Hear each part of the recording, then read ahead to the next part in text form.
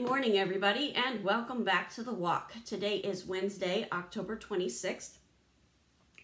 And today we are kind of combining what we've been talking about since Sunday. Sunday we were talking about the watchman. Yesterday we talked about um, um, not giving up, continuing to hang in there, continuing to do the things that God has called you to do. So that brings us to today. Today we're in Habakkuk 2. And um, this is a part of the Bible where it talks about the importance of staying diligent, um, keep on running the race. You don't give up, you don't back off. You keep that watchman role in place and you just keep moving forward. So in Habakkuk 2, it says, I will stand at my watch and station myself on the ramparts.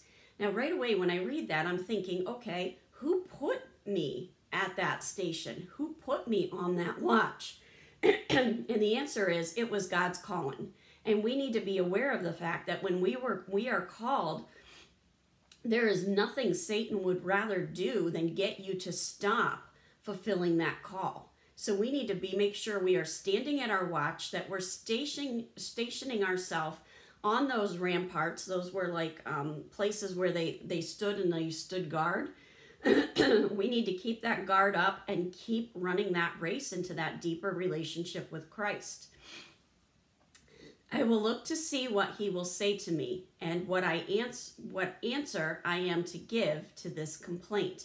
So we're always looking for or listening for those answers from the Holy Spirit, that direction from the Holy Spirit, and we're we're ready to go into that prayer closet and battle at all times. And then the Lord's answer comes. Verse 2 Then the Lord replied, Write down the revelation and make it plain on tablets, so that a herald may run through it.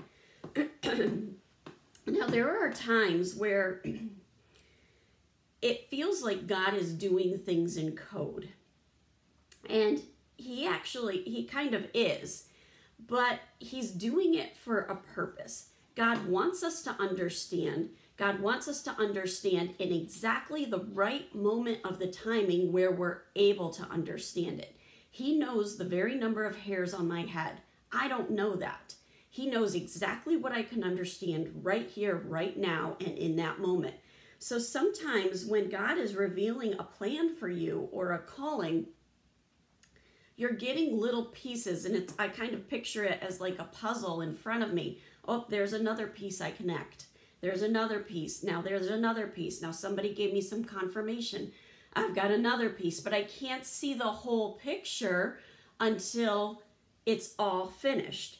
So he gives us those revelations. Those revelations are plain in that moment, but it also leaves us with more questions. And when it's his perfect timing, he's going to reveal all of it.